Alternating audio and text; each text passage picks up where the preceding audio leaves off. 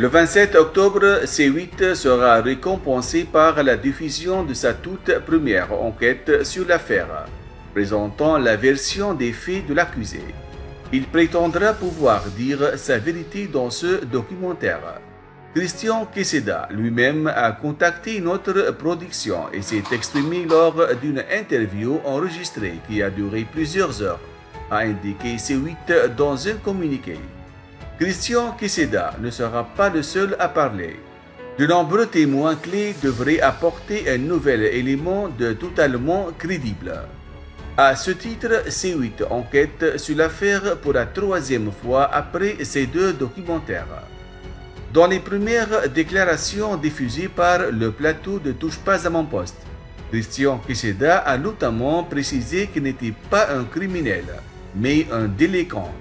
Il a également commenté les images trouvées sur son ordinateur.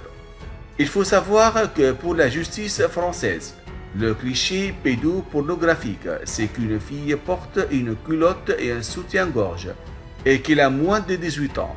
Oui, même plus que ça, mais pour collectivement inconscient. Quand c'est de la pédopornographie, on attache nos enfants. On est encore très très loin.